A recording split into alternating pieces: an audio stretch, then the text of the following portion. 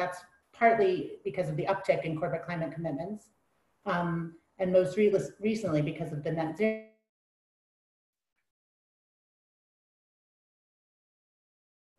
You're on mute, Kelly.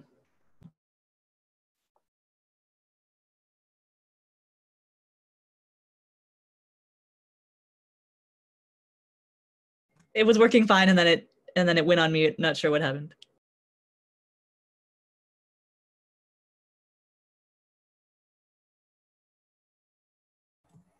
How about now? Yes. I love Zoom. now that we've taken up most of our time. Okay, next slide.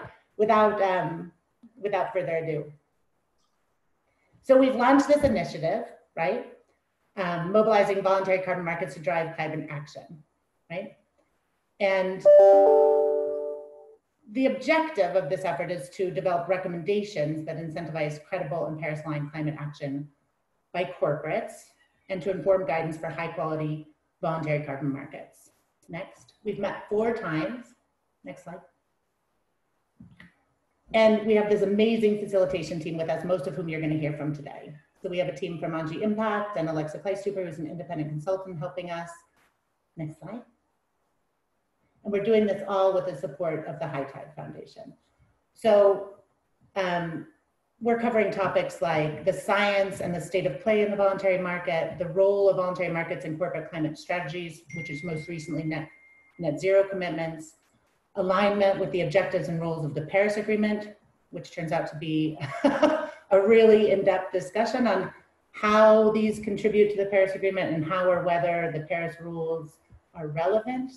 Um, we're going to move on in our next meeting to discuss uh, quality of the voluntary carbon market in the post-2020 context and to try and navigate that. And an overarching theme that's come out in these meetings is the importance um, of transparency. Next slide, please. So just so you know who we are, our steering group consists of major environmental NGOs, uh, research and policy institutions, international associations, um, all of the major voluntary market standards, and we have several key corporate advisors who are advisors to the steering group um, and won't um, be part of the recommendations, but are really helping us on the path to get there because those are the people actually looking to engage in the, in the voluntary market. Um, at today's event, we wanted to provide a peek into these ongoing discussions and, and to really provide a space to discuss how we can make the voluntary carbon market work for the climate. Um, there's a lot of interest in this right now. There's a lot of corporate action um, driving the demand for the voluntary carbon market. And we all just want to make sure that um, these are all aligned with climate action, which is where we need to go. So without further delay, I'm going to hand over to Kim Carnahan, who's going to kick us off with a framing presentation. Kim is the Director of Sustainability at Engie Impact. And most of us know Kim best um, for her former role at the State Department, where she was most recently the chief nego negotiator on climate change. Kim, over to you.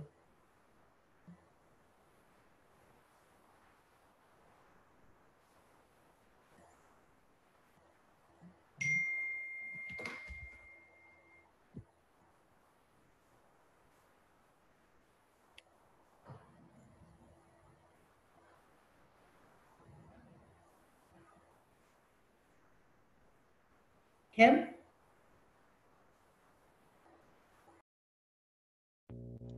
She's working on sharing her slides. One sec. No problem.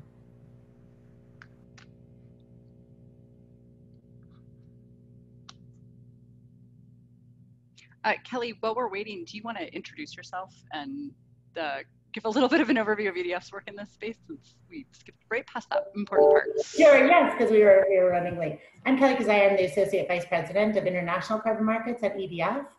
Um, EDF are an organization that finds solutions that work. Um, with the uptick in the voluntary carbon market, we're trying to help um, both countries and companies figure out how to engage in the voluntary carbon, carbon market in a way that um, avoids supply chain risk, that where they can avoid um, accusations of greenwashing and where they can really have the voluntary carbon market contribute to their um, corporate climate goals. Can you guys see my screen now? Okay, great. Thank you. Sorry about that that uh, delay. So thanks um, so much for the uh, for the introduction, Kelly, and, and so great to be with all of you today to give a little bit of an update on where we are with the voluntary carbon snap carbon markets now and what's on the horizon. Um, the first trend that I want to look at for the current voluntary carbon market is simply that activity in the market is rising. Uh, in 2018, we had 98 million tons worth of approximately 296 million dollars um, that were transacted, and that was up 53% in volume as compared to 2016. Um, the ecosystem marketplace has also reported anecdotal evidence that these buyers range from small businesses to major corporations. Uh, first time buyers uh, can be kind of a double edged sword, as they say, because um, they tend to focus on price over quality, um, but they are certainly driving up the, the numbers in the market as a whole.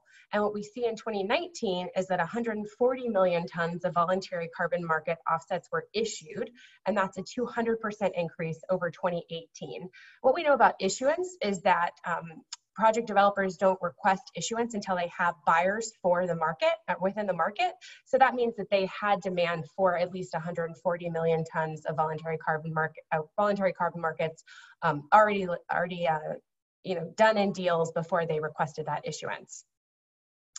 The second uh, trend that we know is that the number of companies offsetting is increasing. That's not surprising. We've seen a plethora of big offset commitments uh, announced in the press recently. Uh, Ecosystem Marketplace has stated that demand was largely driven by new market entrants, which diverges from past years, wherein 80% of demand was driven by companies that had already offset in the past.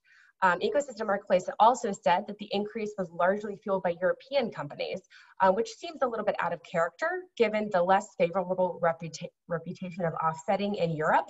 Um, but it's likely an indicator that companies are coming to terms with how difficult it is to meet the very ambitious targets they set in the aftermath of the adoption of the Paris Agreement uh, with only internal emission reductions. Uh, companies are realizing that they need a phased strategy, for example, that includes using offsets to neutralize their emissions as they do the hard um, and often slow work of bringing down their internal emissions and working with their suppliers to do the same. At Engie Impact, uh, we're helping a broad set of companies to do this hard work now, and, and we've seen this kind of conversation happen internally in a lot of companies as they realize that they're going to need to turn to offsetting in the short term while they work out their longer term strategies. The third trend that we're seeing is that nature-based solutions are leading the, the pack in terms of the uptick of activity in the voluntary carbon market. Uh, this boom was driven in large part by the um, IPCC's emphasis on the importance of carbon sinks in meeting the well below two degree target of the Paris Agreement. What we've seen is that forestry and land use covered um, 50 56% of voluntary carbon market transactions in 20, 2018, which is compared to 38% in 2017. We've also seen in 2018 that afforestation and reforestation offset volume transactions grew 342%. Um, and then we don't we don't yet have the exact numbers for um, 2019, but we know that the boom for tree planting has did continue last year and is continuing this year as well. A couple of other trends to focus on, projects reducing the emissions from household devices, in particular cook stoves are on the rise. Cook stove, cook stove projects increased um, uh, 200% in 2018. And the demand for large scale renewables is falling as companies began to have concerns that um, additionality is questionable in a large number of those projects. So that's what we know about trends in the voluntary carbon market today, but what's going on around it? Uh, what's shaping it going forward? Here are just a few elements, and I'll get into more detail on all of these later in the presentation. First and foremost, the lines are now blurred between the voluntary and the compliance markets. Article 6 of the Paris Agreement recognizes that parties will use quote unquote cooperative approaches um, carbon markets or emissions trading to meet their nationally determined contributions. But it doesn't restrict parties to using uh, the Paris Agreement's successor to the CDM, even though um, one has been created, nor does it uh, create an emission trading system for countries to use under the Paris Agreement. Um, so uh, they're on their own as to figure out how they're going to use quote unquote cooperative approaches. Um, they're going to use a variety of options, including potentially aspects of the voluntary market to help them meet their goals, um, which could be prove a little complicating as we move into the world of needing to account for uh, emission reductions sold in the voluntary carbon market against uh, NDCs. Uh, the second way in which lines are blurring between the voluntary and the compliance markets is ICAO's carbon offsetting and reduction scheme for international aviation, or CORSIA. Uh, CORSIA has recently approved four voluntary standards um, in addition to some compliance uh, standards for compliance. This means that the standards themselves um, are being asked to figure out how to ensure that the units that are being sold into CORSIA from those standards um, are not double counted with nationally determined contributions under the Paris Agreement. This is a, a very tricky task for those standards uh, to undertake, and it is um, it's something that re it remains to be seen how they're going to be able to do that. Uh, another one of the issues of post-2020 complexity is that company net zero goals have skyrocketed um, in the last couple of years. You've seen uh, a huge number of companies take on uh, these goals, but we those companies have not yet made clear, and many don't know how they're going to achieve those goals. Certainly driving demand up for offsetting, but also adding uncertainty into the future of the voluntary carbon market. Uh, another issue is that near universal NDCs means that developing countries may hesitate to sell to other countries or to companies that want to contribute directly to achieving uh, Paris goals. Uh, another issue is that failure to agree Article 6 rule set means that there's great uncertainty in NDC offset demand. And finally, nature-based solutions um, bring inherent challenges despite the importance of those types of projects in, in meeting the climate challenge. And we'll get into all of this a little bit more as we go forward. Um, now getting into uh, the question of corporate demand at a little bit more level of detail. Uh, I'll show a couple of slides that demonstrates what, what's happening in corporate demand, and you can see by the, the list of companies on, on the screen uh, that corporates are committing to action. We have over 1,000 companies that have now taken on net zero commitments by 2050, and many have set those commitments for earlier than 2050. Um, what we don't know is how they're going to get there, and this is the second page of the list, um, and or how offsets will play into their strategy. But again, as I mentioned earlier, what Engie Impact is seeing from our vantage point as an advisor to those companies in many different sectors is that offsets are playing a consistent role in helping to reduce the cost of transitioning to um, lower emissions technologies internally. They're helping companies maximize climate benefit as they ratchet, ratchet down their own emissions and gives them time to plan that kind of a transition rather than jumping into more costly emission, internal emission reduction uh, uh, internal emission reduction projects uh, right away. As we within Engie Impact, we're trying to get a handle on what these commitments, uh, the, these corporate commitments might mean for offset demand to help figure out how we could play into this, um, this new world that's developing. We decided to zoom into a subset of those 1,000 companies and aggregate the total emission reductions required to achieve net zero by 2050 or earlier. We took the 54 global Fortune 500 companies that have committed to net zero and did uh, much more work than I had imagined would be necessary to estimate the total emissions of those companies combined and to take a look at what their trajectory to net zero would look like. Their total emissions today is approximately 2.5 billion tons annually, um, and if we're including scope 3 emissions, and most of the targets do include most of scope 3 emissions. Uh, of course, we don't assume that companies are only going to use offsets to get to net zero commitments, um, but we do assume that they're going to use offsets uh, on the way there and in sizable numbers, and in some sectors more than others. Um, so what this number tells us uh, even is that this is just one small group of companies, and yet altogether they have taken on a commitment to go from 2.5 billion tons to zero, uh, and they're going to use offsets on the way to getting there. So how do we guess at corporate demand? Um, offset demand over the next decade is simply highly uncertain. It's really hard to know.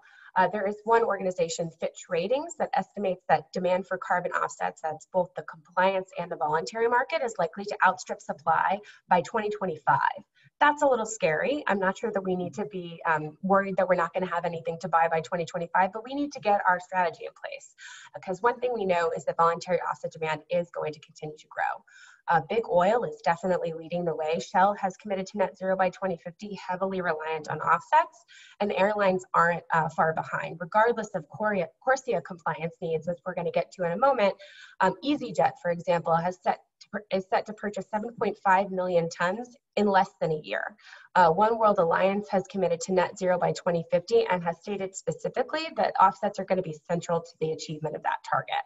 And if we look to uh, imagining a future wherein other alliances decide to jump on the bandwagon and commit to net zero by 2050, just keep in mind that passenger flights around the world are responsible for 900 million tons of CO2 just in 2018 alone. Uh, that's a lot of offsetting. Just jumping quickly to CORSIA demand because this, some of this will be coming from the traditional voluntary market. Uh, Pre-COVID estimates uh, estimated that CORSIA demand was going to be between 1.6 and 3.7 billion tons between 2021 and 2035. Um, the CORSIA, uh, the body that governs CORSIA, which is the International Civil Aviation Organization's um, council, the ICAO Council had decided to change the baseline of CORSIA earlier this year after COVID hit uh, because the baseline had been uh, an average of 2019 and 2020 emissions. Um, they decided to change that to 2019 emissions given that 2020 emissions were so um, were such an anomaly compared to, to recent trends that will because of the downturn after after that change in global aviation travel um, that is going to mean that the demand for offsets in the, at least the first three years of the scheme are going to be uh, remarkably lower than we thought they were going to be um, but we can't expect that they will um, shoot back up after covid recovery uh, takes place the bigger question is whether or not corsia um, whether or not the offset standards under CORSIA are going to be going to be able to figure out how to uh, work with countries uh, to prevent double counting with NDCs. If the standards are unable to figure out a workable process, um, then in their absence, airlines are almost certainly going to turn to pre-2021 CERs from the Clean Development Mechanism uh, to meet their, their compliance requirements. Uh, just let's say a little bit about what we know about NDC demand for offsets. Um, many factors converge, again, to mean great uncertainty in NDC demand. Um, the lack of Article 6 guidance under the Paris Agreement uh, means that countries are probably going to wait to see uh, what the rules say before they decide whether or not and how they're going to use uh, cooperative approaches under Paris. Uh, the failure for many countries to outline plans to meet their NDCs means they don't yet know what offsets they might need in order to meet them because they haven't they haven't done the work to figure that out yet. Um, and then also many countries are considering revising their NDCs in 20, was supposed to be 2020, but now it's likely to be 2021 due to, due to COVID. Um, and since we don't know what those revisions are gonna look like or how much they're gonna lead to increased demand, uh, we're gonna have to wait and see. And then uh, finally, there are just simply non-transparent deals between countries. Um, you know, some of us on this, um, on this webinar know that there are currently deals between several countries to develop um, piloting projects, offset projects between countries under the Paris Agreement, but that's not public and, and likely won't be for quite some time. Um, a few things are certainly likely when it comes to NDC demand. However, demand's going to grow probably exponentially as we uh, move towards 2030 and countries see how far off they are from meeting their targets. Um, the deals are likely to be pretty large and there's not likely to be a lot of them. Uh, countries like to do things once or twice, not 20 times. Um, and forestry projects are likely still to be a preference among many countries. I'm going to say a little bit more about the complexity of offsets under the Paris Agreement because some of this is relevant to conversations that we've been having uh, within the, uh, the mobilizing the voluntary carbon market um, conversation. Um, first of all, under Paris, this is just a little bit of background to make sure we all have the kind of baseline knowledge to, to engage in this discussion. Under Paris, um, all parties must put forward NDCs and account for their internationally transferred mitigation outcomes, or ITMOs, uh, that have been authorized for use towards another party's NDC. Um, there's a lot packed into that sentence. First of all, an ITMO is, it could be an offset, it could be an allowance. Um, secondly, um, authorized means the country whose the country wherein the emission reduction is taking place has said, yes, you may use this to meet your commitment. And when you do that, I'm going to uh, do my appropriate accounting to ensure that I don't also get to take credit for that emission reduction. And uh, yes. Sorry, just one second. We had a question in the chat. What is an NDC? Oh, an NDC is a nationally determined contribution. That is the term of art used in the Paris Agreement for commitments that parties have taken on under the parties or countries have taken on under the Paris Agreement. So each country has, has taken on uh, an emission reduction commitment and, and NDC is the shorthand for that commitment. Thank you for that question. Um, so the type and scope of NDCs under the Paris Agreement vary wild, wildly, um, leading to the need for guidance on which emission reductions are inside the NDC and which are outside. And that's important to track progress towards meeting the NDCs. If you don't understand what the country is committing to, how can you make sure that they have done the thing that they have committed to? Um, so that's that's an issue that we needed guidance for under the Paris Agreement, and we don't have that yet.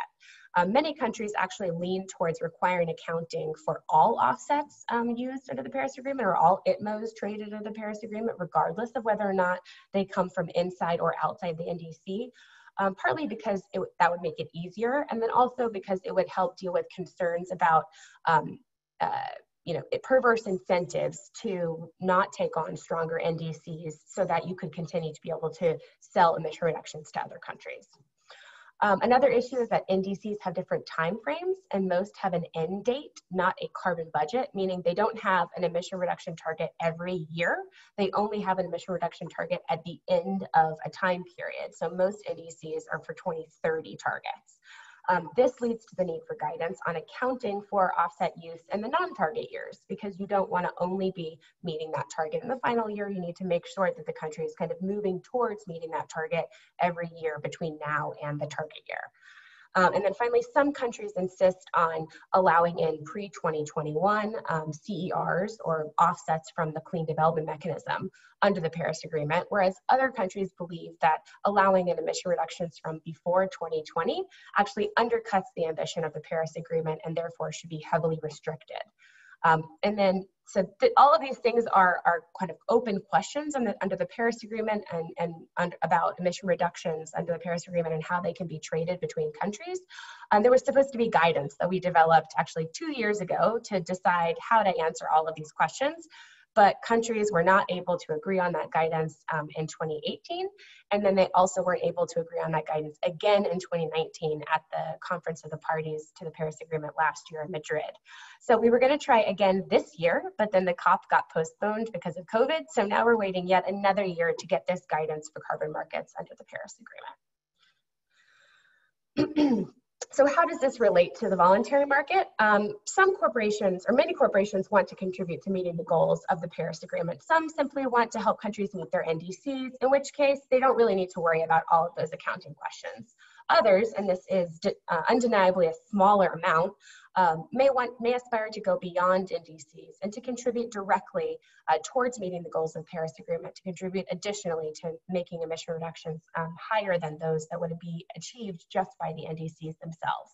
And if that's the case, then they also care about these questions of accounting and would want to be working with countries to figure out how they can make sure that their emission reduction commitments go above and beyond NDCs. Um, so the lack of Article 6 guidance affects the voluntary market in that way. Uh, and then it also has, uh, affects the voluntary market because historically the UN system has set benchmark quality criteria. Um, lack of guidance um, about the new market mechanism, the replacement for the clean development mechanism under the Paris Agreement, um, means that the voluntary market now is kind of making those decisions for itself. And within the mobilizing the voluntary carbon market um, initiative that, that EDF and, and High Tide have been, have been um, spearheading, uh, we're looking at those questions exactly. And this is uh, the last slide, just to say that there are a few other things that may impact uh, the voluntary market going forward. First and foremost, the US 2020 presidential election, uh, potential US regulation, um, and could impact corporate commitments. Uh, the ambition type scope and the country circumstances of the NDCs, especially as they may get updated this year or next year, is going to potentially impact the market. Uh, there are existing and emerging national and subnational carbon pricing and regulatory regimes, which could change how corporations want to interact within the voluntary carbon market. Um, private companies continuing to take these commitments. You know, you saw the two slides that list out the thousand companies with net zero commitments so far. We imagine that's only going to grow going forward.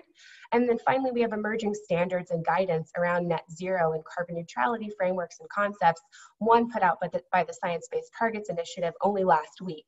So as these uh, developments continue, we're going to continue to watch that and be trying to advise companies on, on how best to engage in this market going forward. Thank you very much.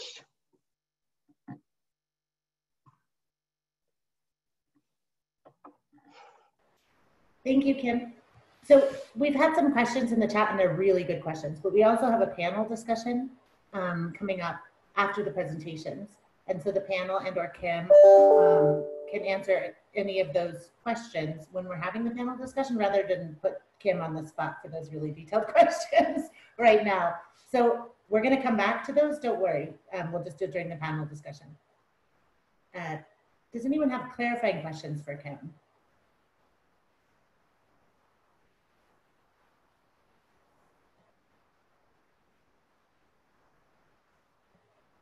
I don't see any hands raised. So I know it's not in our program, but we actually have a special guest. Stephen Donofrio is the director of Ecosystem Marketplace. Um, and if you're not familiar with the reports that come out of Ecosystem Marketplace, I, would say um, it's one of the reasons we know what we know about the voluntary carbon market. Um, they really are a hub uh, for producing data about the voluntary carbon market um, in its size, scope, and um, impact. And he's going to be telling us right now about a special edition report that Ecosystem Marketplace has released um, during Climate Week. They're going to release it at IETA's North America Carbon Forum event. Um, and we're getting a bit of a sneak uh, preview of it right now. So Stephen, over to you. You should be able to share your slides, and if you cannot, Krista can do it for you. Thank you. Great. Okay, I will pull these up and and just to you know thank you Kelly and team for this late ad. We um, sort of realized uh, that that this would be a good moment for us to share the 2019 calendar year data and related findings. You know, at least in a very brief you know moment, but want to kind of open this up because we're we're getting a lot of different requests, you know, asking us to do different types of dives into the data, and so um, so rather than us sort of wait until that perfect moment and also that we've been delayed this year just because of covid as it is we wanted to put together a very short and kind of punchy report that gets to the, the high level data that everybody's asking for. Um, but also uh, you know give some kind of additional thoughts and a lot of what kim has already walked through uh, you know is a good scene setting. And and so thank you for doing that I'm just pulling up my slides. I was not sure if I was presenting or not, but let me just pull these up here and I'll, I'll share my screen. Um, and do, do, do, one second.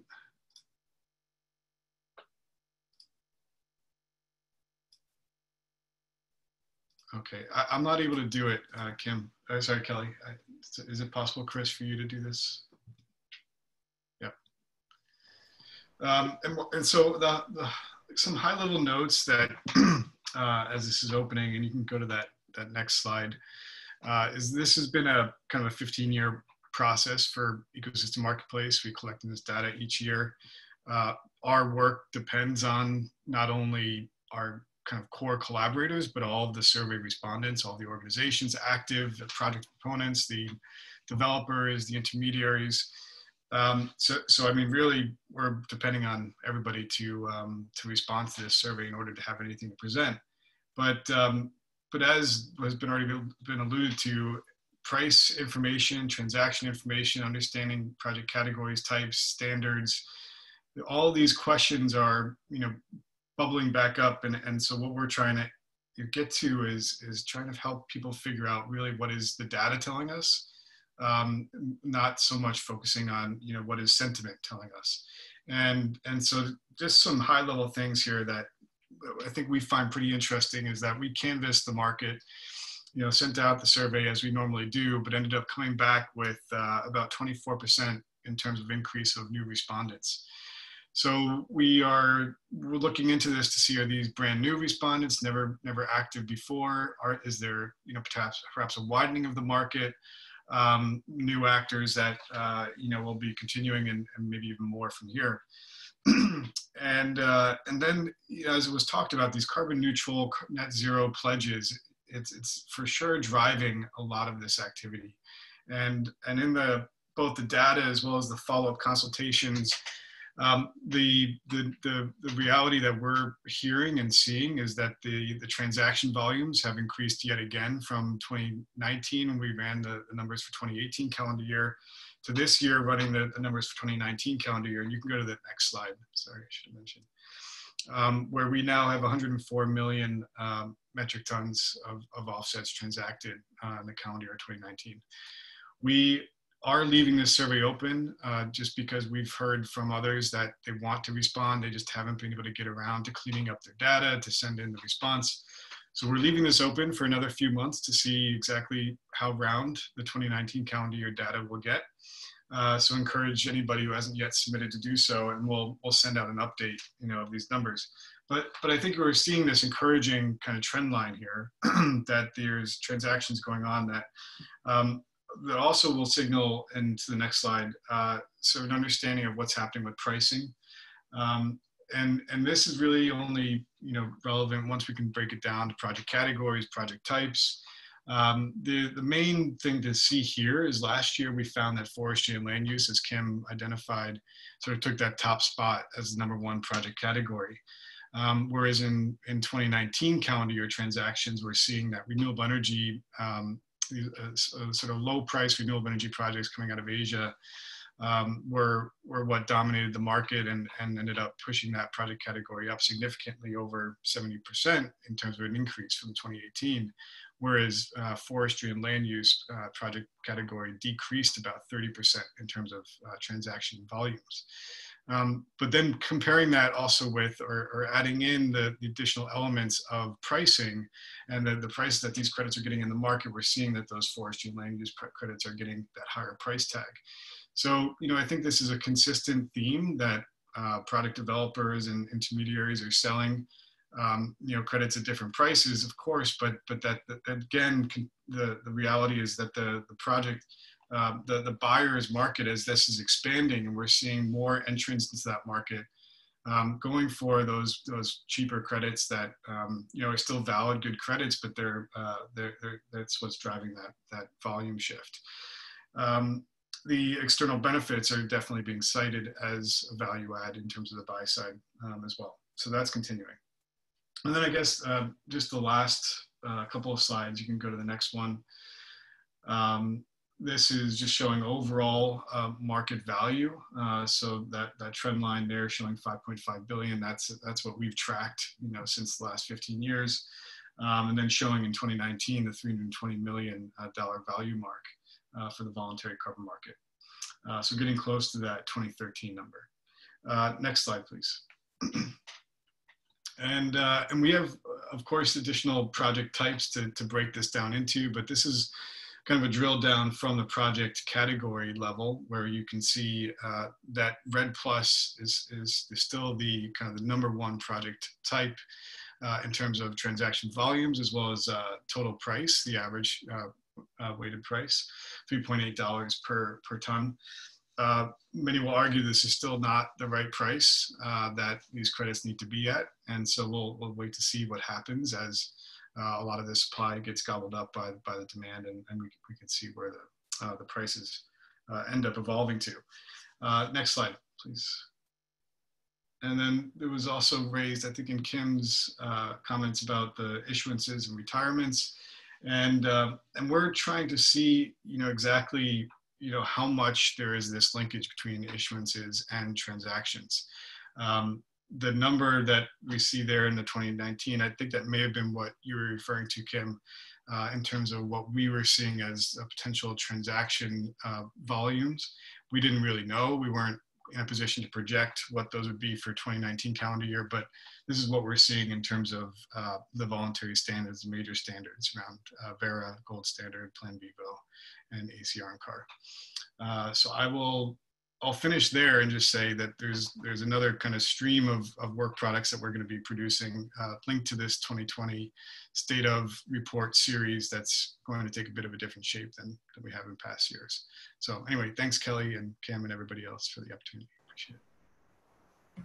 Thank you, Stephen, for giving us that sneak peek, the overview. Does anyone have um, clarifying questions before we go to our expert panel? Um, we have some definitely substantial questions, but does anyone want to clarify anything in either of the presentations?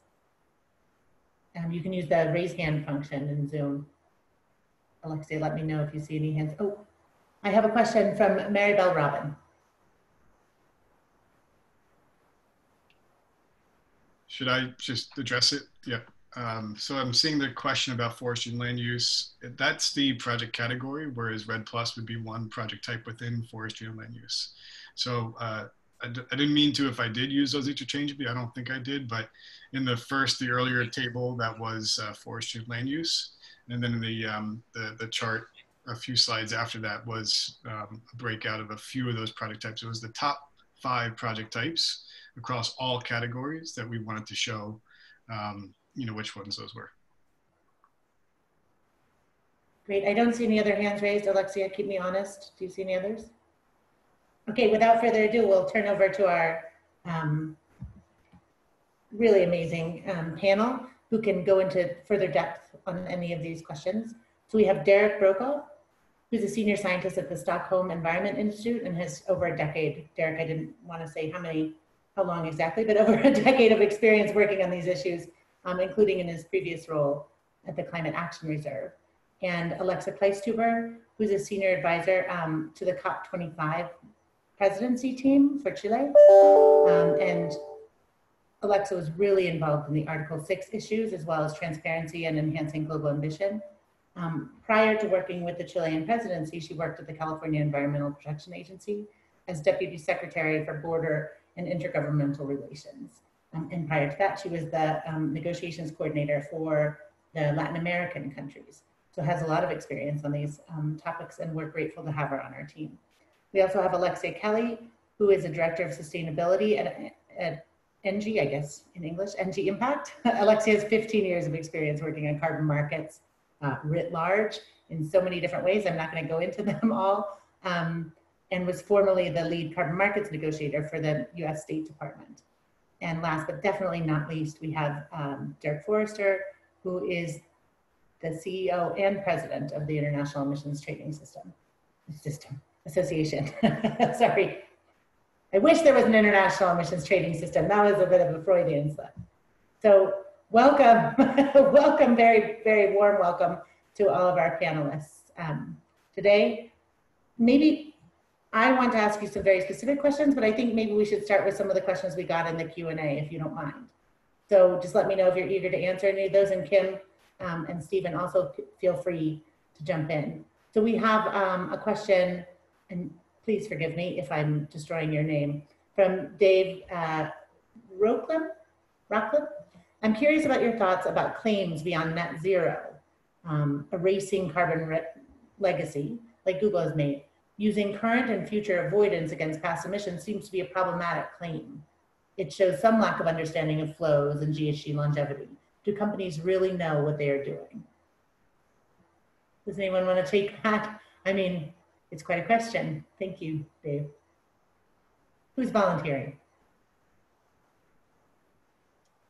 Dirk, do companies really know what they're doing? Well, so I think they do in a sense, in the sense that um, I guess I applaud their boldness in stepping forward before there's absolute perfection in terms of um, the accounting systems that need to be used and trying to really uh, uh, do their part to um, chart a new pathway for everyone else to follow. And, and so in that sense, uh, I think in voluntary in particular, there's always a tension between kind of uh, perfection and reasonableness or um, scaling up quickly or slowing down to get it perfectly right. And we really uh, don't have time for you know, for the level of precision that um, some people would like. Uh, you know, I think we'll work and continuously improve. But it takes me back to, I remember, uh, you'll remember this, but back in the late 90s and early 2000s, the United States government had a um, tracking system for voluntary carbon reductions that was similar to what Stephen presented. And back in those days, the early days, there was, uh, you know, there were some people that wanted very loose accounting, like you should get credit for putting up a sticker that says to turn off the lights when you leave the room. There were other people that felt like, no, you need to make sure that you have a satellite that can measure that. Well, obviously, reasonableness is somewhere in between to get something that, in place that gets us progress. And when you look at where carbon markets are today and voluntary markets, the level of rigor in the standards and in third-party verification and in you know the public commitments that companies make, that thousand plus companies that Kim showed.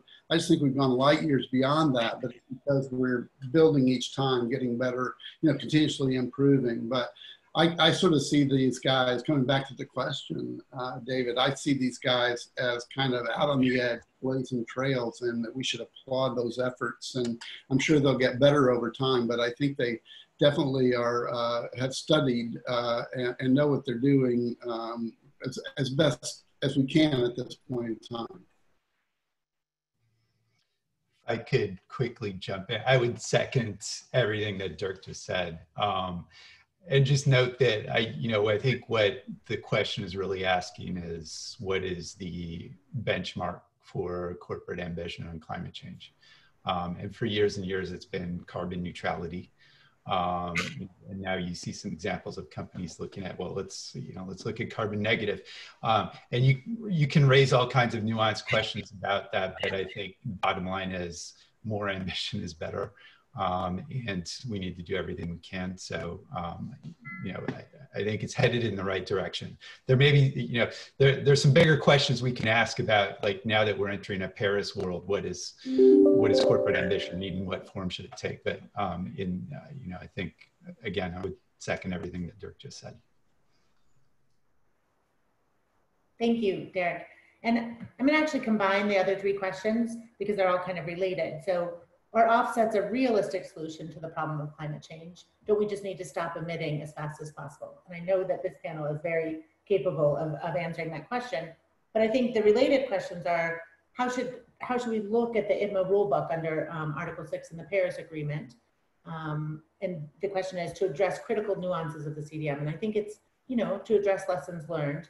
And, and what do the panelists think of the role of offsetting in the Science-Based Targets Initiative? Um, and, and how that's been framed. So Alexia, can I turn to you to, to begin answering that kind of complex set of questions? Absolutely, Kelly, and thanks so much for the invitation to be here today, and thanks to all the speakers and panelists. It's great to see so many people on the line and such um, a resurgence of interest in this topic. Um, so I'm Alexia Kelly, uh, Director in the Sustainability Solutions Group at Engie Impact, and um, have we all collectively have been working on these markets, I think, for longer than we would care to admit, uh, and have watched the discussion of, evolve significantly over time. And I think this fundamental question of what is the role of offsets in the low carbon economy transition, and how do we ensure that we are leveraging them to really deliver the high quality, low cost abatement where it's available. Um, while also ensuring that we don't lose focus on the imperative of decarbonizing essentially the entire global economy between in the next approximately 30 years. Um, I think is a really critically important question and the one that's really at the heart of what we are all collectively working on today. So the way that we think about this question and as we engage with kind of as Kim noted a, a range of clients across the value chain from incredibly energy intensive energy and mining companies all the way through to relatively GHG light advisory businesses like our own, you know, where your GHG emissions profile is really coming from your data consumption, it's coming from your air travel versus direct sources of emissions um, from power plants and from energy generation, the, the pace, the scale, the cost, and the trajectory of your decarbonization is going to look really different for all of those different players. And there really is no one size fits all um, approach to decarbonization that you can just say, okay, you know, company Y, tomorrow you're just going to turn off all these power plants and stop producing electricity because we can't emit GHGs anymore. We know that that's not a, a viable solution to the problem. We still need electricity, and unfortunately, a significant portion of that electricity today is derived from fossil fuels. That's changing, um, but it's not changing as quickly as we need it to. And so the role, I think, from our perspective that we see offsets playing is to enable us to today deliver the collective ambition that we know is necessary in order to decarbonize the global economy from a, an atmospheric level, right? So what offset markets enable us to do is to go out and find that low cost, low hanging fruit, readily available, high quality emission reductions regardless of where they are in the globe, and really bring those to bear now while we're working through the incredibly complex, expensive, and unfortunately uh, slow transition of figuring out how do we replace all of this super capital intensive infrastructure with lower carbon alternatives. And so we, we rather than having folks sort of wait until 2050 to think about, okay, what do I do with my residual emissions, are really working with, with clients and customers and partners to think about, okay, how do I leverage offset markets to, in, to maximize and enhance the ambition that I have as a company and then I can encourage my supply chains to undertake, and then I can encourage my companies to undertake, um, and our partners, and really building that thoughtful and strategic um, decarbonization pathway that avails uh, ourselves collectively of all of the different levers that are available to us across the globe from a decarbonization perspective. So Kelly, obviously lots more to say there, but maybe we'll, I know uh, other, other folks have lots of thoughts on that issue as well. Yeah, just thank you so much for that answer. And I want to turn to the sort of um, ITMO Article 6 rules question next, but I, before I do that, I just want to point out that we do have a lot of members of our steering committee um, on this call, and we are so thankful for your presence here. And we've obviously done a lot of deep diving through our initiative on these questions. So I know you thought today you could just be in listening mode. we weren't going to ask for your active participation, but please do raise your hand if you want to jump in on any of these, because I think we've we've learned a lot from each other on this, and um, it would be great to hear from you um, and from your particular perspective as well. Alexa, I think I know that you know that you're going to be the person I want to speak to about the next topic, which is, you know, from your experience working in a developing country administration um, and working with a COP presidency, how do you think that corporates could best engage um, with the countries hosting these projects and programs? And, and how do you see um, the relationship of all this with Article 6 and the lessons learned from the past, um, from CDM, etc. Great. Thanks, Kelly. And thanks, everyone. It's so great to see almost 100 people on this virtual Climate Week session.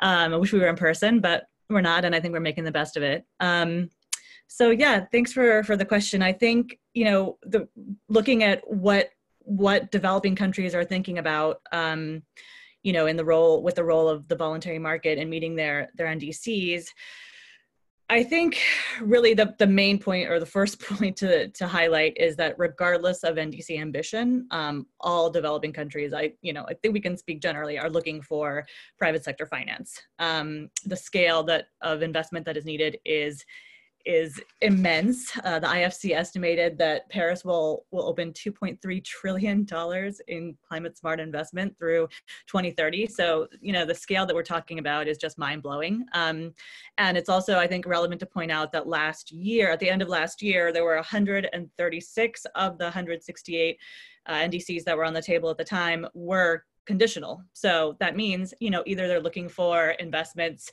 from, it could be uh, from you know from the public sector um, from they're, they're they're looking at investment you know from from a public sector in in other countries or they're looking for investment from the private sector. Um, and so it's hard to distinguish exactly what they're looking for. Not everybody makes it specific you know what those conditions are. But in general i think we can safely say that every country is is eager and interested in having that private investment to help enhance their ambition. And especially given that that countries are expected to to ratchet up every five years. You know we're coming up on that first ratcheting up period. And um, and so more and more they're going to be turning to to, to the private sector. Um, in the case of Chile, which I can speak to more specifically, I think you know it has a that country has the country has a very ambitious NDC, and so it's kind of it, it's kind of a double edged sword in the in the sense that it it knows you know Chile knows it needs all the policies and measures in place to actually to really do its own its own contribution to the NDC. Um, but it also knows that that the private sector isn't a separate entity from from the public. You know, a lot of the investments, for example, green hydrogen, very interested. The the public sector is very interested in using that as a way to achieve their NDC, but they want to do it in conjunction with with the private sector. Um, so they know they need that investment. They're interested in reaching out to to companies to to kind of work together in certain sectors, which I think is another key point point that we we want to look to to countries themselves to say, hey, where where what are those sectors um, and types of projects that you're looking for that investment, and where can companies come in and partner up easily, um, and you know where does that bring down the costs overall of, of meeting the reductions. Um, so I think that's an important point that that they realize, but also at the same time, neither Chile nor any developing country, I think, wants to give away, quote unquote, their emissions reductions towards meeting their NDC. And in that sense, it's just really important to highlight that we are now in a totally different world than pre 2020, right? We are in the Paris Agreement world where every country has uh, a legal obligation to have an NDC and then you know needs to implement measures to to meet that um, their own measures and so and they'll need to account towards that and say how they're meeting that NDC so I think every country has this new really realization that they're responsible. And even if we know that the NDCs are not ambitious enough to get us where the, where we need to be, I think we can we should assume that countries are taking this res responsibly and want to want to be able to account and want to be able to show their progress um, and and say how they're meeting their NDC. So in that regard, whether it's having an outside country partner up and buy those emissions or um, or a company in this case they want to know that that those you know that, that those reductions wh where they're going and how to account for them. And i think to my last point there it's really interesting that chile for example and I, you know I, I think many others will be doing this um, as the time moves on has its own committee now that this isn't just you know the um the, the executive board for for cdm this is not just or you know well whether it's in in those countries this is not just you know that that national one national body potentially from the ministry of environment making a, a sign off on a project chile for example, and I think many others will now kind of start to look at this term in terms of um, what they can authorize and how they do the accounting for NDCs. They're, they're partnering up amongst ministries. So the Ministry of Finance is now involved. The Ministry of Energy is, is leading the effort. Ministry of Environment, of course, is involved, and the Ministry of Finance, of sorry, of um, of Foreign Affairs. So this is now a kind of cross-sectoral effort that countries are realizing that hey, if they're going to sell emissions, whether it be to another country or to a company, they they really need to look at where they can you know harness that investment and then also be able to account for it hopefully jointly with those companies. And i think companies have a lot of experience in and project developers in partnering up on on the finance and you know kind of who who pays for what and um, where the benefits go. And this will just be another aspect of that looking at the ownership and the claims of those units and and you know who takes that benefit and, and how the accounting ends up working. So um, with that said maybe just to close the, with the question that was asked about you know, how do we evolve from what's what's the evolution from CDM, um, and how do we I think it was, and you know, how to, especially looking at the enhanced demand that that we have and that we we want, we should have, hopefully, uh, with the ambition now established by the Paris Agreement. Um, and I think I think unfortunately it's it's evolving, but maybe slower than than we'd hope. Um, as Kim mentioned, the rule book was supposed to have been finished two years ago and is still under development. Um, but that's certainly that particular element is definitely a piece that's being fleshed out in in the text in the text currently, and hopefully will be part of the final agreement. Um, I think probably the bit that speaks most to that is the section on methodologies, you know, in the new mechanism that really is looking at a bunch of new options. Um, that are range from best available technology to performance-based approaches to what, what we're calling ambitious benchmarking, um, which kind of really moves a, a, whole step away from a whole level away from just historical emissions um, or even just you know projected emissions. So I think that will hopefully be addressed, and that that will there will be able to kind of be a whole new scaling of efforts um, through this new 6-4 mechanism. It's called, um, but it's certainly unfortunately we don't have the exact uh, you know the exact rules yet. And and i think um, we'll we're, we'll just hope for the best that cop26 can really push that piece forward and that, that that mechanism can get up and running as soon as possible. Thanks alexa. Derik i'm going to turn to you now and put you a bit on the spot. Um, based on your you know experience we have some questions here about um, the definition of additionality and the role of additionality. Um, and, and how that's being defined and some of the confusion that might be uh, causing. Based on your experience and what you're seeing now, what are the most important elements for quality post 2020 And how is that evolving in light of the Paris Agreement? And and how does that touch upon the, the, the key notion for all carbon markets of additionality? Yeah, uh, thanks. So um, there, there's a, kind of a number of issues, I guess, swirling around here, whether it's additionality or the other quality criteria. So, um, you know, that the criteria, the quality criteria for carbon offsets are, you know, in essence the same as they've always been. Um, it, you know, additionality, not overestimating uh, emission reductions, uh, having permanent emission reductions, and avoiding double counting. Um, and so, you, you, know, and, and what these criteria all boil down to essentially is what we call environmental integrity. It's this idea that if I buy a carbon credit and emissions end up being higher than they would have been if I had simply reduced my own emissions, or if I had invested in another carbon credit that actually met this quality criterion. Um, so if emissions would be higher, then that's a violation environmental integrity. So for example, um, you know, if I buy a credit for an emission reduction that's not additional, um, emissions will be higher than if I had invested my money in a carbon credit for a reduction that is additional. Um, and the same goes for uh, you know all, all the other criteria. The big, I think the big difference uh, now that we're facing under the Paris Agreement is is this situation where every country has uh, adopted an NDC, a nationally determined contribution. So every country has uh, you know, some kind of target or commitment for reducing emissions.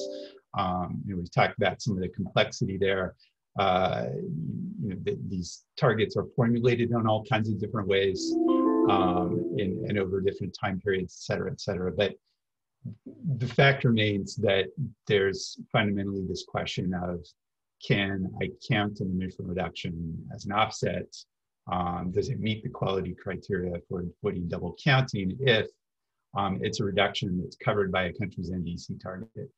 Um, you know, and you can argue all kinds of nuance there, uh, but I think you know just basically boil it down to the cab driver test. Um, you know, this company is claiming that their carbon emissions footprint is zero, um, but they're doing so on the basis of counting emission reductions that countries have already pledged to achieve. Um, I think that's going to create real issues. So whether that's additionality or not, I, I, it's a double counting issue. Um, but it's the same basic underlying question as we have with additionality. You know, additionality is like, okay, you're paying someone to reduce emissions, um, but they were going to do that anyway. So um, are you are you really making a difference? Um, so yeah, it, it, and these aren't new issues, right? So I, going back to the early days of the voluntary carbon market, I would say most, if not all of that major voluntary carbon standards took pains to um, you know not issue credits for reductions in countries that had taken emission reduction targets under Kyoto. Um, so you know that that was on everybody's radars. Uh, I think there's been a general consensus for years that you don't count, uh, you can't count emission reductions as offsets if they occur at sources that are covered by emissions trading systems like cap and trade systems. Uh, you know, unless you back out an allowance, like if you cancel an allowance, that's the model for the, the joint implementation mechanism under Kyoto. Um, that, you know, so today the challenge is we've got this global system where we have these potential double counting concerns and, um, and, uh, and so I, that, that maybe this is, well, this may be a little heretical, um, or maybe it's crazy, or maybe it's what everyone's saying. But you know, Kim was talking in her presentation about companies distinguishing between uh, contributing to countries achieving their NDCs uh, or emission reductions that go beyond uh, NDCs, and uh, and I I think the picture is a little bit muddier than that right now. Um, my impression is there's a lot of folks who would like to make carbon offsetting claims. Um, but they, you know, if, if they can do so um, by counting emission reductions that have already, you know, countries have already pledged to achieve, they would prefer to do that. I think that's going to create some, you know, integrity, like perception, optical problems in the market. uh, if, if, if we go down that road. And so, um, you know, one proposal I would put forward as, uh, you know, maybe we do, and this goes back to the first question, right? What is the benchmark for corporate climate ambition? Is it carbon neutrality? Um, you know, is it carbon going carbon negative? Uh, and like I said, that's been the benchmark for years and years. It's compelling, it makes sense, but it's fundamentally arbitrary um, at anything less than the global level. Um, and what I would suggest is, you know, let's let's maybe try to reformulate that. Let's think in terms of, you know, what can companies, voluntary actors, contribute to global efforts on climate change, whether that is helping countries meet their NDCs, whether it's going beyond NDCs. Um, you know, I, I, think kind of recalibrating a bit, um, given that you know, we, I, I not to go on and on here, but I would say for, you know, as far back as, you know, 94, when I first started working on carbon offsets, um, we've always understood they would be a kind of interim solution that if, you know, the world collectively starts to um, take on the effort that's required, um, you know, there's not going to be that much scope for offsetting, but there's still very much scope for voluntary action. And so I think um, you know it, maybe we just need a little bit of uh, rethinking about what that benchmark is and looking at how carbon credits can substantiate and support uh, voluntary efforts to contribute to global action on climate change rather than this, you know, I've got my own little neck of the woods covered here with carbon neutrality. Um, so I'll stop there. Sorry, that's a lot. No, that's that's great. Thank you, Derik. Um, I think that's that's sort of the heart of where we are right now on this. And I, would really like to hear from Dirk and Alexia.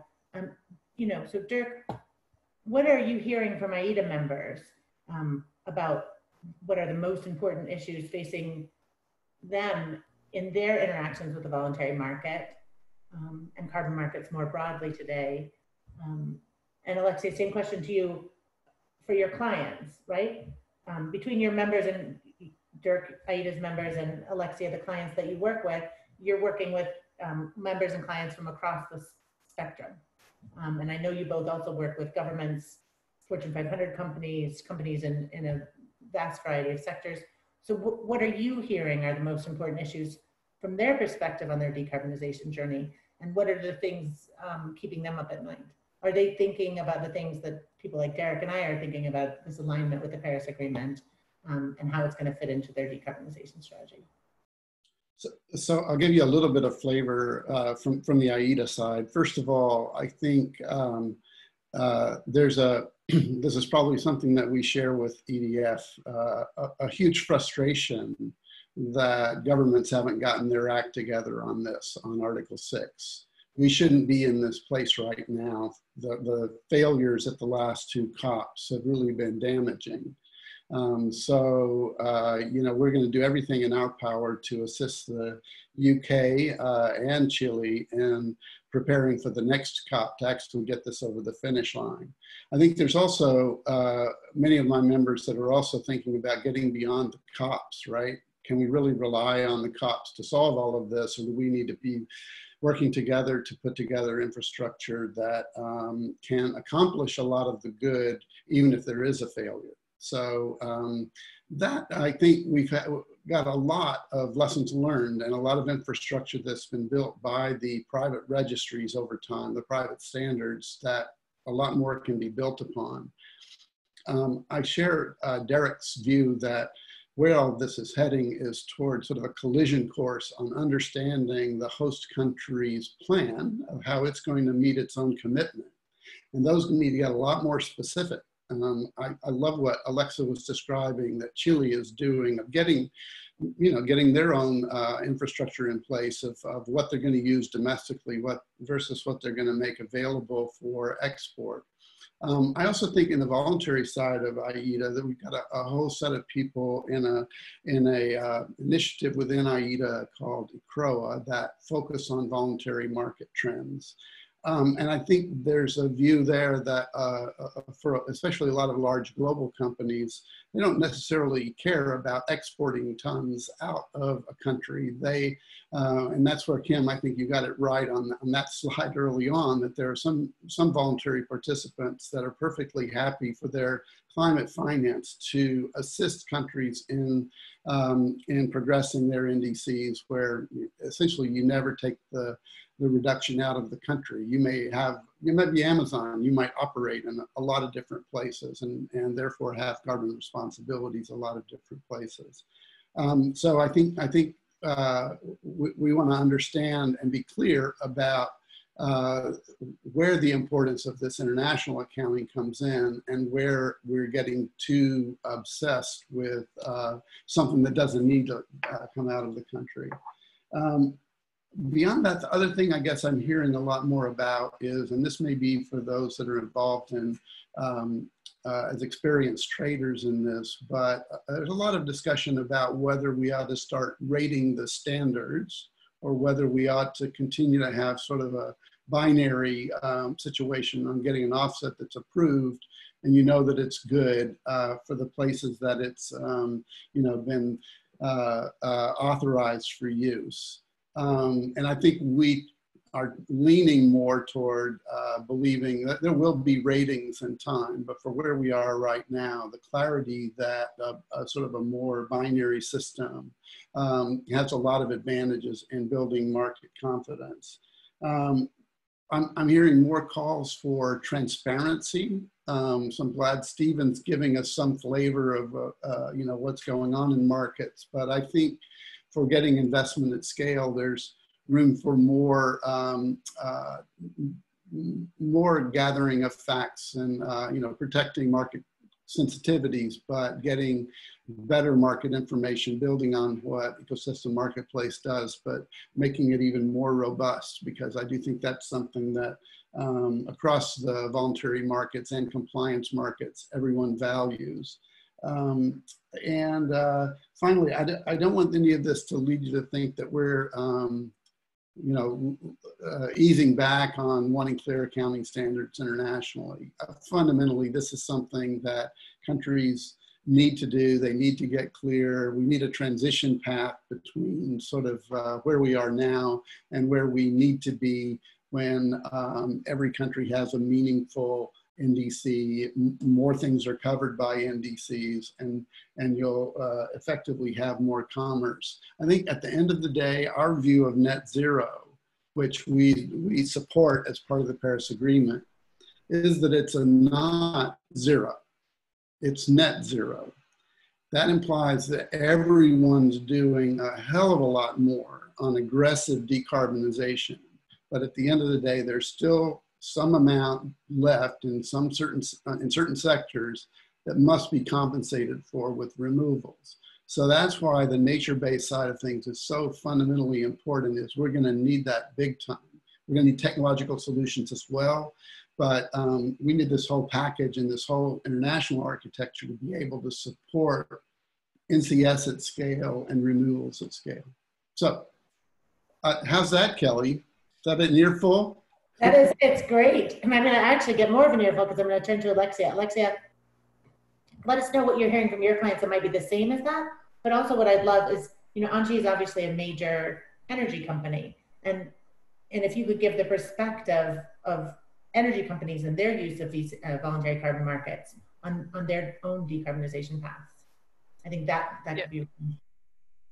Thanks, Kelly, and thanks, Dirk and Derik. Um, I think this conversation really illustrates the tension that we are collectively grappling with here, which is how do we harness the vast amount of opportunity and potential and frankly expertise that's been built up in the voluntary carbon markets over the last 15 years? Like you want to know how to decarbonize a sector go find somebody who's been trying to figure out how to make money at decarbonizing a sector when there was no real global price on carbon for the last 15 years. So the all of the methodologies that have been developed under the CDM, um, the work that's been done in the vol- at the standards around really over the course of the last two decades, working through what is a robust, high quality assessment methodology for understanding where emission reductions are coming from the the amount and the volume of thought and expertise and energy and intention that has gone into building these systems up um, over the last two decades really is an incredibly important blueprint and resource for certainly many of my clients who are just at the beginning of their decarbonization journey, right? Like they've never really, many of them, many very large companies, with a few notable exceptions, have never actually really sat down and thought through what it would really take to decarbonize their entire entire business. Um, and it's not small. You know, fossil fuels touch every single piece of our economy, all of it. Um, and so we have to figure out a way to really do this in a in a high quality, incredible manner. And that's some of the tension we've been talking about is just how do these interact with what it what is and will continue to be a very rapidly evolving policy and regulatory construct and set of circumstances, right? As countries really scale up their ambition, as they start to get serious about implementation of the, their decarbonization objectives. Um, and I think, you know, the the, the concern that you're hearing about making sure that we have high quality and robust accounting really stems from the fact that we've seen what happens when you don't have it right so i don't know if you guys noticed in kim's slide there was that big chunk of chicago climate exchange credits that then just went away that was really in large part because um, there was a quality problem and there was a huge amount of negative press against that work and so we run the risk if we can't figure out a way to transparently, credibly, and with a high degree of environmental integrity leverage offsets in this next phase of global climate action. Um, we run the risk of, of pulling the whole house down with us. Um, and so I think the balance that we're trying to strike, particularly in this next interim period, is how do we leverage every single dollar and every single um, ounce of initiative that's out there to really drive abatement at scale as quickly as possible? And how do we make sure that every single dollar that's being deployed is driving the maximum climate environmental benefit? But how do we also do that in a way that does not impede action? That actually enables corporations to really step up and say, we have a role in this. We want to help lead the way.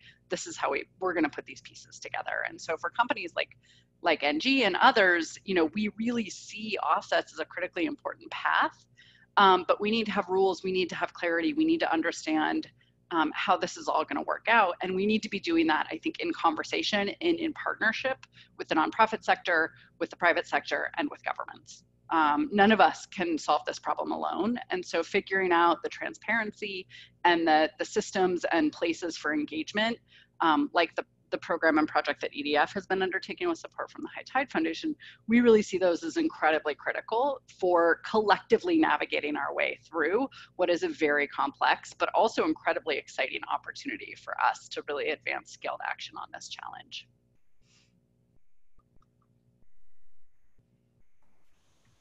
Thanks, Alexia. I want to turn now to kind of a set of questions about um, the commitments under the Paris Agreement themselves. And um, I'm sorry, I'm going to tap Kim and Alexa because of their um, continued and strong role in those discussions. But so one of the questions we've gotten is, what's the impact of the US leaving the Paris Agreement on all of this? Um, from my perspective, I'll just start by saying I hope that's a short-lived um, absence, but I'll let Kim, Kim speak to that. And then also, how do you see, we've even, we've even been offered a crystal ball which I've always How do you see if you had a crystal ball, how these things nest into one another, how the voluntary carbon market can contribute to these nationally um, taken uh, commitments, these country level commitments. So Kim, I'll start with you and then Alexa to you. Yeah, sure, that'd be great. Um, so yeah, for the first question, yeah, like like Kelly, I hope it's short lived. Um, since we won't be having uh, another COP until after the next the next election and potentially um, a new president takes office, uh, we could actually not have a COP where the U.S. is is not a party to the Paris Agreement. So let's all hope for that. Um, I think how it how it affects things it affects everything quite a bit. I think um, U.S. diplomacy is is quite impactful, and maybe I'm speaking from a bias uh, when I say that, having having previously been the chief negotiator for the U.S. But um, I think two, two major things. One is that the US used its power under the Obama administration to go around and encourage other countries uh, behind the scenes to increase their ambition uh, the ambition of their targets. And as we're looking to see targets revised uh, this year or next year, having a strong US um, target in place, as well as a strong US diplomatic effort in place to encourage other countries to increase their targets and to work with other countries and support them as they're doing that, uh, would certainly make, make a notable difference, I think. Um, and the US China relationship is one where um, you would expect to see greater ambition if the US and China were working together, um, and, and certainly we won't see that uh, under, under this president. So that's the answer to the first question. Uh, the second one is is an interesting question. So if I had a crystal ball, how would you how would corporate VCM tie into public sector commitments under Paris?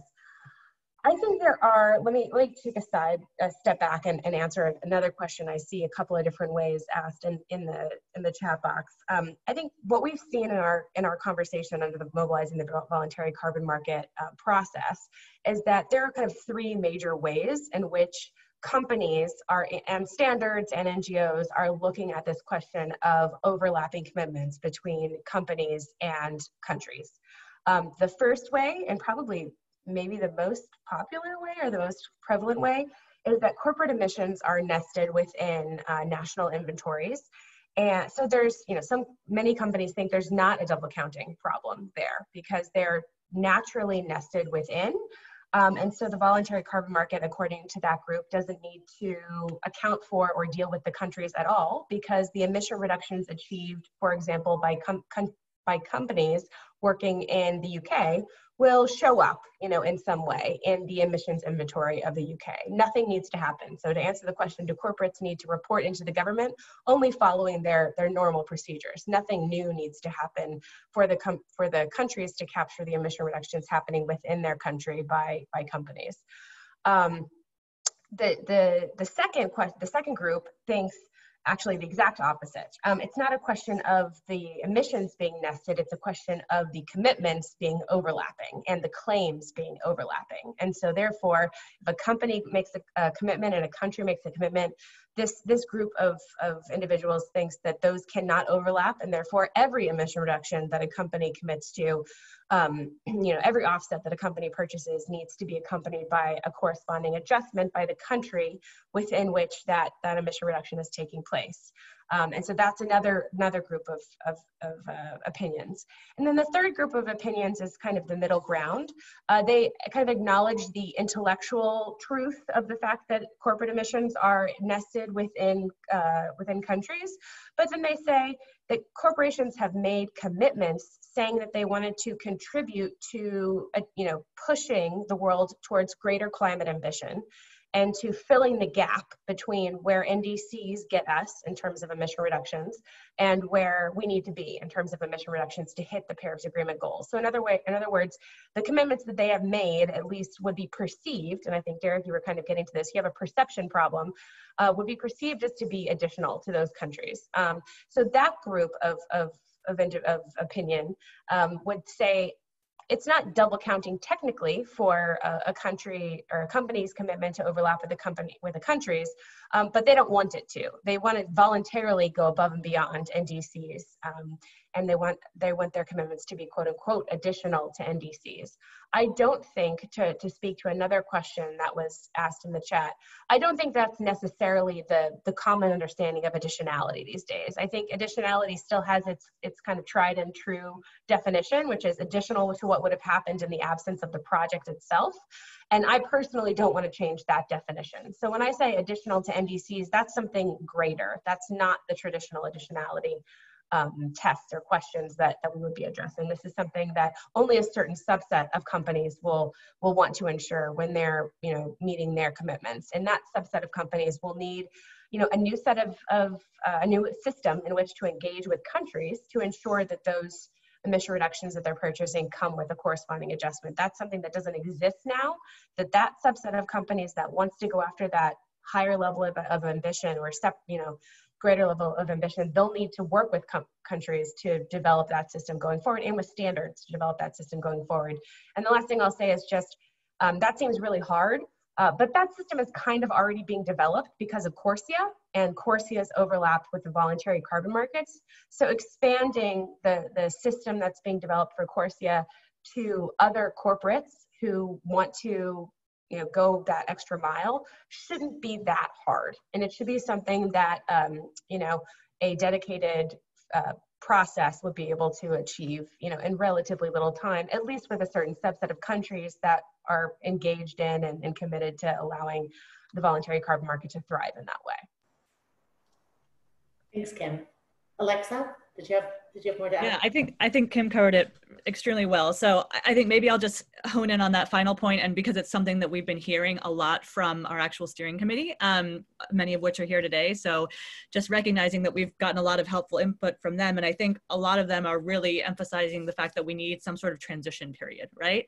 That we, you know, whether or not, you know, from these different perspectives that Kim laid out, and I think moving towards that third piece of if you if a company really wants to contribute to overall global ambition um, and going kind of beyond NDCs and really getting us to two degrees or 1.5, then they should have some element of, you know, accounting that's that's together that speaks to the UN system, you know, that speaks across the, the voluntary market and the UNFCCC Article 6 and all those, you know, that kind of that accounting framework that, that we're developing. Um, and so if they want to do that, that that's not available today, uh, but it but it will be. You know, ideally at the end of, of next year with COP26, um, and over the years as as countries actually implement more transparency and you know set up their their in, uh, institutional arrangements to look at how they how they do corresponding adjustment how they do accounting you know how they work with with companies to kind of make that happen um, and so i guess the the main point is it's not going to happen overnight. And everybody says you know maybe this would be eventually helpful or a useful system to kind of have paris and the voluntary market speaking to each other and having transparency and encouraging ambition but it's not going to happen tomorrow. And so it just needs to be something that we're working on together that we're keeping the lines of communication open um, between companies between host countries um, you know um, and and everyone else uh, and and that we kind of figure out a way to how to to to, to move forward um, you know potentially over the next five ten years into a system that does have full accountability. Thanks alexa. I have a, oh derik i'm going to come back to you just after this. I'm going to ask stephen if he can answer one technical question and then i want to give it the floor to you anyway. Um, so we've gotten a question from an anonymous attendee. How much relative investment is being put into natural and technological sequestration. So I guess removals versus reductions, rem removals versus avoidance. Do you know, Stephen, or maybe even Derik, you know that number? Um, in terms of in the spot, if you don't, we can come back. Don't worry. Yeah, I mean, I, I wouldn't, wouldn't know in terms of investment what what that would cover. Uh, you know, I would I would say to answer that, we would want to look at the remote sensing technologies and other types of monitoring verification in addition to project development costs. Um, but one of the reasons why we asked a new question in the survey about um, the, the product development cost is because we're hearing time and time again that the, the prices on the market just do not um, achieve the amount that's needed to, to cover the costs yeah. front end of project development. So um, we'll, we'll, work on putting together that data and, and seeing what we come up with from that. Thanks, thanks, Stephen. So Derik, I wanted to kind of kick you off with the final question I have for the panel before we wrap up. Um, and also tie it into a question I think maybe you could answer. So, you know, how do we continue to thread this needle? How do we um, find a way to get quality guidance that's clear and simple enough to not be a barrier to this investment while making sure that we're also not supporting um, greenwashing? And one of the questions we've had is, ha have you seen the use of carbon markets be actually additional additive um, actually transformative. Um, so answer that or don't, but how do you think we continue to thread this needle and how do we make sure that this is successful for climate, but also successful for the investment we know is needed? Well, maybe I'll, I'll take that in the direction I was going to go, just building off of uh, what Kim and Alexa were saying, which is, um, you know, it, it's true, we don't have an Article 6 rule book. We don't have the accounting systems in place. We'll get there eventually. Um, but of course, you know, we, we live in this really murky world right now um, where, you know, companies want to make these carbon offset claims. Um, and there's folks like me, I guess, saying, um, well, wait a minute, you know, you can't make an offset claim on the basis of something that's double counted. And that's, you know, it's still happening whether we have the accounting systems there or not. Um, and I, I, so what I would say is to continue to make a plug for this idea. If companies want to invest in carbon credits that are additional, they're not overcounted, they're permanent, um, and backed by all of these um, guarantees that the you know the voluntary and other carbon offset standards always are already uh, but they have double counted. Still a good thing like that's that's a that should be something that you know the you know corporations and the world at large the public who care about climate change should be able to get behind um, and so I, I, think that's a valuable claim to make. I don't think it's an offset claim. Um, but this goes back to what I was, you know, I guess, I don't know if this is threading the needle or just trying to cut the Gordian knot, but, um, you know, maybe we need to rethink carbon neutrality as the benchmark. Um, maybe we need to think in terms of, you know, voluntary actors can contribute to global goals on climate change that can take the form of helping countries meet their NDCs, um, and you know, in, in conscious collaboration with countries. It could also take the form of going above and beyond what countries have pledged in their NDCs, and that you know that's where the accounting comes in, um, and, and, the corresponding adjustments. Um, and you could make an offsetting claim on the basis of those kinds of credits, but um, you know maybe we don't have to get so hung up on that. Maybe we need to think in terms of look, you know, the goal here should be to advance collective efforts on climate change. Um, there are a number of ways that you can do that, focusing first on your own carbon footprint, um, but then also making these additional contributions. And that, that would be my answer. Um, you know, for what it's worth, you know, maybe that and 50 cents is a cup of coffee, but um, that, uh, you know, I, I, think that's the way forward. Um, so, Thanks, yeah. So I'm going to ask for final thoughts, really 10, 15 seconds from everyone, and then just say a quick goodbye to everyone. So Alexa, final thoughts. Um, I just spoke, so I, I will yield my time. We're Great. Derik, or sorry, Dirk. So um, first of all, fascinating discussion, and uh, thanks for leading us through it, Kelly. Um, I, have been obsessing about uh, the one of the questions in the chat about whether any of this is transformative and involuntary offsetting, right? And I, I guess in, in my experience, when I really think about it, the transformation that's required of companies in changing their businesses to wean off of fossil fuels, that tends to be in the direct action that they take. And what's transformative about engaging in the offsets market voluntarily is that you're going beyond just what you can afford to do inside your fence. And I think that is, uh, yeah, gradually over time, I think we'll see more transformative things happening in the offset markets as prices rise. But it's, it's voluntary markets that have uh, demonstrated and proven a lot of the types of offsets, you know, over time that, that eventually uh, grew into use and compliance markets. So they've been kind of the trailblazers. And I think we need to unleash them to do that again and to, uh, you know, channel even greater investment scale. But we need more clarity around some of the topics that we've been discussing today to inspire uh, uh the business confidence to make those investments. So hope that's helpful. Yes, thank you. Thank you, Dirk. Stephen. Final thoughts. Thanks. Yeah, I mean, I, I, think we're we're just curious to see what happens with this as well. Um, you know, the demand the demand signal is, is super strong at the moment. How that how that continues, I think all the discussions around Article Six, or whether or not companies will go beyond uh, and and sort of put this put aside the need for double claiming or or you know anything else that's on the the, the the policy level and purely make this a voluntary action. And uh, where other stakeholders that we hear often are, are challenging them uh, is it investors? Is it customers? You know how the media will react you know ongoing you know to to this issue is going to help the market or hurt the market. Thanks stephen. Kim? We're over time so i'm i'm sorry for taking people's time Um, I'm, I'll just say that that I, I think the problems that we had of, have ahead of us are, are complex, but they're solvable. And and those of us on this you know panel and in this uh, webinar, but also all of us in the steering group and the, the that uh, Kelly has been running, are able to tackle those issues as we go forward. So I just look forward to, to working with all of you to solve these problems. Thanks, a message of hope. Alexia. Uh, Last but four, four words, transparency, integrity, flexibility, collaboration. I think that's a perfect note to stop on. Thank you guys so much.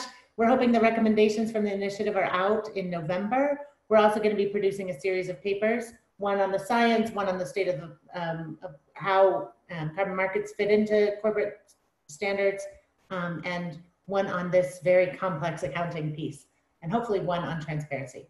Thank you guys. And thanks for taking your time today. Um, the recording will be made available publicly. We'll send it around to everybody who registered. Um, and we'll also try and answer any of the questions we didn't get to offline. Thank you. Thanks, everyone. Thanks to the panel. Wonderful as ever.